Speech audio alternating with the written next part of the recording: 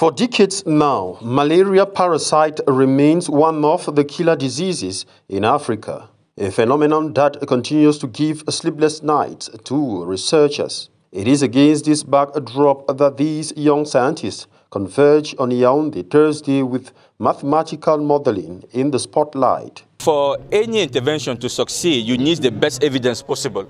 And we think that with the mathematical modeling, we can improve our understanding of the dynamic, not only of the transmission, of the disease, but also of the success that various control interventions may have. We have the bed nets, we have vaccinations, we have uh, uh, uh, drugs, we have so many interventions. The capacity building workshop was geared towards devising strategies in combating the disease in Cameroon.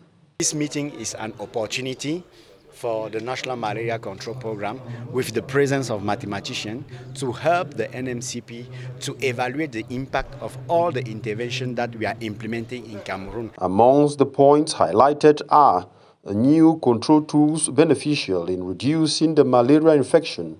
One of the domains is infant mortality. However, even though the rate of infection has uh, been declining since 2019, the Technical Vector Control Advisory Group and the Center for Research in Infectious Disease say Cameroon is ranked amongst the countries most affected by malaria and war.